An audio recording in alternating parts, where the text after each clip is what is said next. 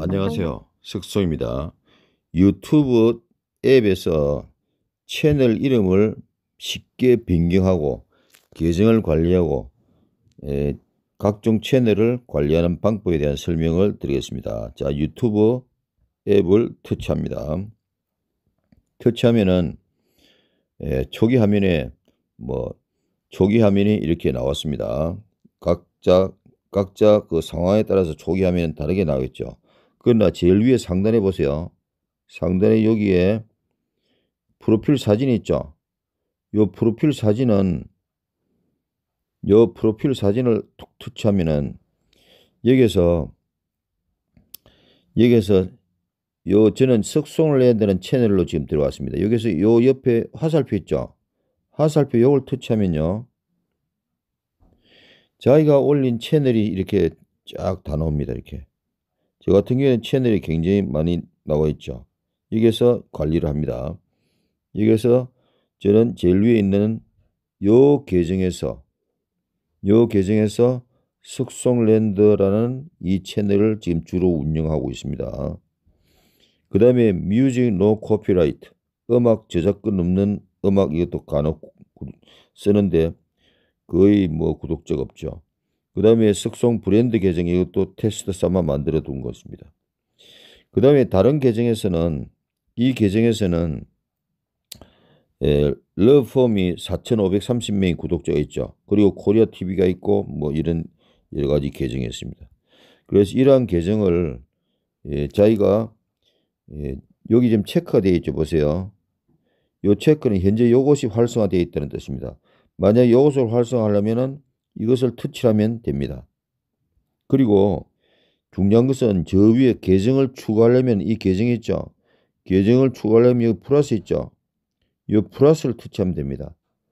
이 플러스를 제가 터치해 볼게요. 플러스를 터치하면은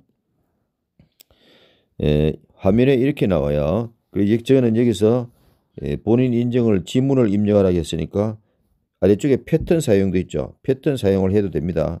저는 지문을 그대로 인정하겠어요. 요건 상황에 따라서 다릅니다. 그럼 여기 보시면은 구글의 로그인이 나오고 구글 계정 사용 여기 나오, 나오죠 여기에 여기서 자기의 이메일이나 혹은 휴대전화를 여기 입력해서 로그인을 하면 됩니다. 이걸 로그인하면은 그 다음에 비밀번호를 인정 입력하는 창이 나오겠죠. 만약 계정이 없으면은 계정 만들기 있죠. 이걸 터치해서 어, 어, 구글에 새로운 계정을 만들면 됩니다. 자 뒤로 가겠습니다. 아 죄송합니다. 자 여기서 저는 현재 석송랜드라는 이 채널 이름을 가지고 채널 이름 바꾸는 방법에 대한 설명을 하겠습니다. 뒤로 가겠습니다. 자 여기서 다시 상단에 보세요. 상단 여기 프로필 사진 있죠? 이 프로필 사진을 터치합니다. 터치하면은 여기 보시면 석송 랜드가 있고 secret 모드 사용이있어요 secret 모드 사용은 자기의 계정을 채널 이름을 숨기고서 들어가서 이렇게 여러 가지를 둘러보는 겁니다. secret 테스트 삼아 한번 해볼게요. 툭 터치했어요. 그럼 secret 모드로 들어갑니다. 그러면 여기에서 예를 들어서 에, 이런 구독이라든가 이런 걸 하려면은 secret 구독이 안 돼요. 그래서 secret 모드 사용을 중지해야 됩니다. 그래서 중지하고 바깥으로 나가겠어요. 다시 들어가 보겠습니다. 다시 여기서 프로필 사진을 터치, 터치해서 들어갑니다. 터치해서 여기에서 채널 이름을 바꾸면 내 채널을 터치해야 됩니다. 내 채널. 내 채널을 툭 터치합니다. 터치하면 여기에 채널 수정이라는 게 있어요. 지금 채널 이름이 석송랜드죠. 이 석송랜드를 자기의 채널이 현재 채널 이름이 마음에 안 들면은 채널 수정을 이걸 터치해서 채널 이름을 바꿀 수 있습니다. 채널 수정을 터치했어요. 그러면 여기에 채널 이름이 나오고 수정할 수 있는 연필이 나오죠. 편집 아이콘이 나오잖아요. 그런데 제가 다녀보면은 채널 이름을 참 잘못 만든 사람들이 많이 있더라고요. 굉장히 복잡하게 만들어 놨고요. 특수 문자도 쓰고 이렇게 했는데 그것은 사람들이 구독자가 비구독자가 구독자나 혹은 비구독자가 본인의 채널을 쉽게 찾아도록 단순 명료하게 자기 자기의 그 채널에서 다루는 테마를 잘 나타내는 그런 채널 이름을 넣어야 됩니다. 그런데 그렇지 않고 영어에 영어에다가 다음에 영어에다가 또 한글을 막 섞고요. 거기에다 특수 문자까지 넣어가지고 이렇게 하는 사람이 있는데 그거는 아주 잘못된 겁니다. 그런 것은 고쳐야 됩니다. 그리고 또 어떤 사람은 부계정을 사용하는 사람이 있어요. 부계정은 이건 정말로 쓸데없는 짓이에요. 제가 볼 때는 부계정을 쓰면은 본 계정을 찾아가서 부계정을 가지고 댓글 달고 이렇게 가지고 본 계정에 와서 구독해 달라는데 본 계정을 검색해서 이렇게 예, 구독해 주는 사람이 과연 몇 명이나 되겠어요. 그러니까 부계정 사용은 비춥니다. 사용하지 마세요. 자 여기서 이 채널 이름을 바꾸는 거 지금 강의하잖아요. 요 연필을 터치하면 됩니다. 연필을 툭 터치하면은 이 석송랜드라고 있죠. 저는 종합적인 강자 중심이전 종합적인 것이 종합적인 그런 채널을 운영하니까 석송랜드를 했는데 여기 보세요.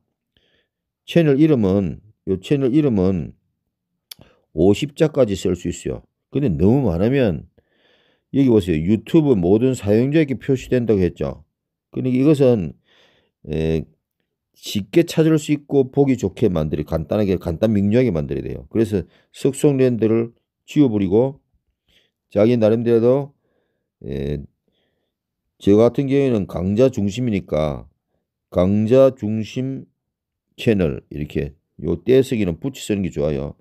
강사 강자 중심 채널이라든가 이렇게 강자 중심 채널 이렇게 바꾼다든가 자기 나름대로 자기의 자기가 하려고 하는 것을 나타내는 이름을 이렇게 만들어야 되겠죠. 저 같은 경우에는 예, 이렇게 만들고서 확인을 터치하면 됩니다. 여기 확인했죠? 여기 확인을 터치하면 돼요. 그러면 바꿔집니다. 이렇게. 저는 취소하고 넘어가겠어요. 그리고 요 설명 있죠? 요 설명도 잘해야 됩니다. 여기 설명을. 자기 채널 이름이 이게 설명이 보이거든요. 구독자나 비구독자에게 이게 보여요. 그래서 이걸 터치를 해서 예, 여기 보시면 설명도 이 천자잖아요. 여기 보세요. 천자까지 할 수 있어요. 저는 그런데 368자까지 해놨죠. 천자까지니까 자기 하고 싶은 거 다 할 수 있어요. 이게. 자, 그래서 여기 보시면 들어가서 보시면은 예, 제가 동영상 제작 개인지도 한다. 스마트폰 키, 스마트폰의 키네마스터 앱이나 파워 디렉터 앱을 개인지도 한다. 키네마스터 키네마 스마트폰 키네마스터 강좌 이렇게 넣어보겠어요. 강좌 그 다음에 파워 디렉터 강좌 개인 지도도 하고 그 다음에 그 추가해 보겠어요. 유튜브 수익 창출 유튜브 수익 창출 수익 창출 개인 지도 이렇게 자기가 필요한 것을 이렇게 넣으면 됩니다. 밑에 있지만은 제가 다시 한번 넣어봤습니다. 다음에 어도비 컴퓨터에서 PC의 컴퓨터 PC에서 이 저는 프리미어도 Adobe 프리미어도 개인지도 한다. 뭐 각종 행사, 촬영 홍보물 이런 것도 이제 제작 납품한다. 이렇게 해놓고. 그래 이렇게 한 다음에 요 밑에 보세요. 여기에 예, 자기의 그 카톡 아이디 저 같은 경우에는 연락처 이렇게 해가지고 카톡 아이디가 여기 있죠. 보세요. 카톡 아이디가 있죠. 전화번호도 이렇게 넣어놨고요 제가. 이렇게 자기의 홍보를 할 필요성이 있는 사람은 카톡 아이디와 전화번호를 이렇게 넣는 것이 좋아요 예를 들면 가수라든가 뭐 연주가 색소폰 연주가라든가 피아노 연주가라든가 이렇게 홍보를 할 사람들은 예, 자기 번호를 넣어서 예, 이렇게 설명을 연락을 하도록 하는 게 좋습니다. 자기 프라이버시가 중요한 사람은 이것을 넣으면 안 되겠죠. 그래서 이렇게 하고서 확인을 터치하면 됩니다. 이게 확인했죠. 확인을 터치하면 저장이 됩니다. 자, 그래서 이렇게 넣고 중요한 것은 요 아래 보세요. 이 아래 이것을 잘못하는 사람이 많이 있더군요. 공개 범위 설정에서 내 구독 정보 모두 비공개로 되어 있어요. 이렇게. 요 비공개로 하는 하면은 이렇게 터치하면은 이렇게 터치가 되면은 이렇게 되어 있으면 비공개가 됩니다. 제가 개인 지도를 하면서 만나는 사람을 보면은 이거 비공개를 하는 사람이 많이 있어요. 구독 정보를 비공개로 하면은요. 내가 그 사람을 상대방을 구독한 것이 데스크탑 데스크탑에서 구독자 목록에서 내 이름이 나타나지 않아요. 내 이름이 나타나지 않으니까 내 채널이 나타나지 않으니까 상대방도 나를 막구독해 줄 수 없겠죠. 그래서 이것은 불리합니다. 그래서 비공개를 하지 마세요.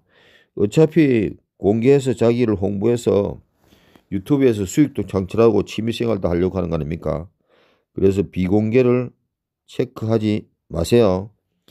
그 다음에 내가 저장한 재생 목록 모두 비공개 이것도 이렇게 체크해놓은 사람이 많아요. 비공개로.